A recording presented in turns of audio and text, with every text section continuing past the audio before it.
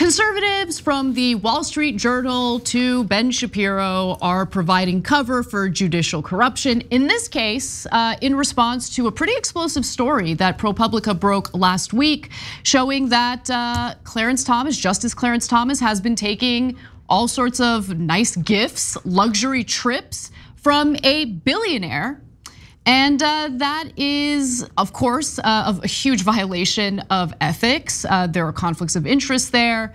We've talked about it in great detail. Now, who is providing cover specifically? Well, the entire editorial board over at the Wall Street Journal. They write a piece titled The Smearing of Clarence Thomas. The left gins up another phony ethics assault to tarnish the Supreme Court. Now, let me just note that Harlan Crow, who is the uh, billionaire that keeps gifting Justice Thomas luxury trips and gifts, spends about half a million dollars a year to send Thomas and his wife to some fancy ranch, some luxury vacation. Half a million dollars. Now, seriously ask yourselves if some billionaire is spending half a million dollars on you every year would the desires of that billionaire and all of his other billionaire friends, who, by the way, go on these retreats and these trips as well, would their opinions and their desires maybe take precedent or, more of a priority than what is in the best interests of the public? yeah. So first of all, of course, every reasonable person knows that. But uh, but I think more importantly, look, there's a very clear rule that you have to report these type of expenses. Yep. And Clarence Thomas didn't report them because he wanted to hide it. And remember, Thomas is a fraud in every direction, right? So he's the guy who's, oh man, I like to do my vacations in the RV parks and the Walmart parking lots. We just, meanwhile, the guy's on a super yacht and he's got like, he can go to that lake house, that which I saw the lake house. It's gorgeous, right? Anytime that he wants, right. uh, et cetera, et cetera. No, it's, it's, there's nothing wrong with having rich friends and going on their boats or going to their houses. But if you're a federal judge, you have to report that so that we at least know what your potential bias is. I mean, that's a bare, bare, bare minimum, and he didn't even do that. Of course. Now, I want to read a few excerpts from this Wall Street Journal piece because it's incredible. I mean, when we talk about corporate media providing uh, cover for corporate politicians, and in this case, a pro corporate Supreme Court justice, this is what we're referring to.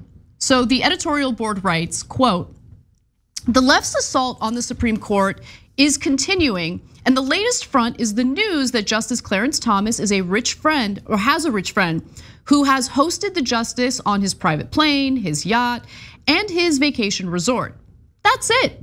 That's the story. No, no you're lying. That's you're not lying. the story. That's not the story. That's um, not at all the story. By the way, that by itself is bad enough. The fact that Justice Thomas failed to disclose this, even though law would force him to do so is also a huge part of the story that they're intentionally leaving out. But let me continue.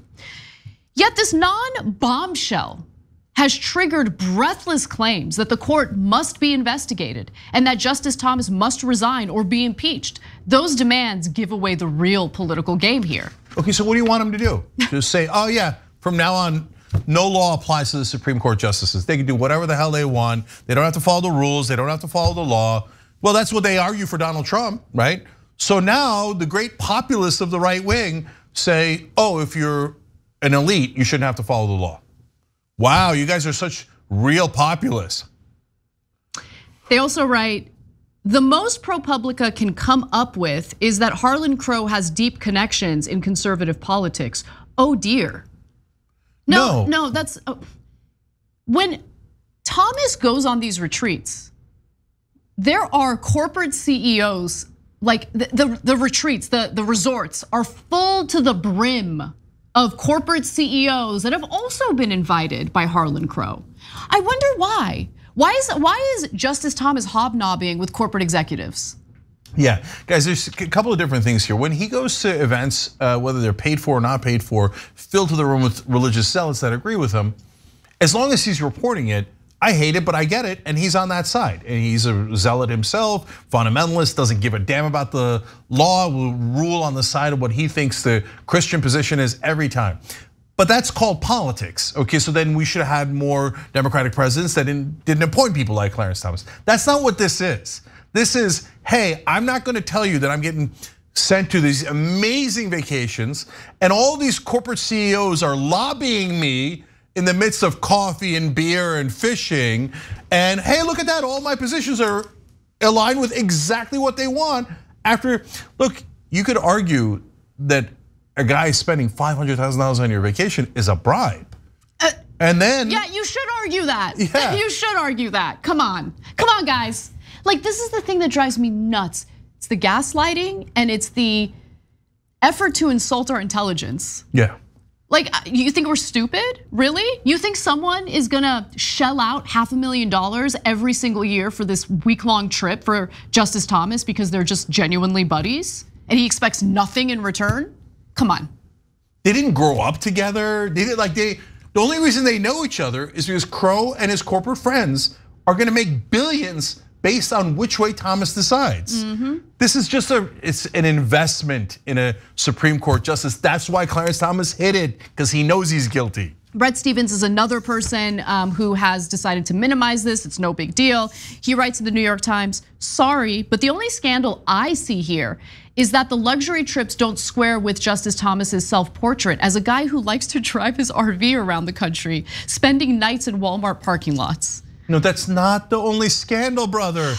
No, that's just a random lie. Are you kidding me? If every Republican lie was a scandal, we'd be drowning in scandals. No, that's a very standard lie, okay? No, we're worried that he's getting bribed by these guys and he's doing exactly what they ask him to do. Find me a decision where Crow and Clarence Thomas disagreed. You won't be able to find one. You won't be able to find, but they, oh, it's a wild coincidence. Just a wild coincidence. That's why they're fishing buddies on a giant yacht. Thanks for watching The Young Turks, really appreciate it. Another way to show support is through YouTube memberships. You'll get to interact with us more. There's live chat emojis, badges. You've got emojis of me, Ana, John, JR. So those are super fun. But you also get playback of our exclusive member only shows and specials right after they air. So all of that, all you gotta do is click that join button right underneath the video. Thank you.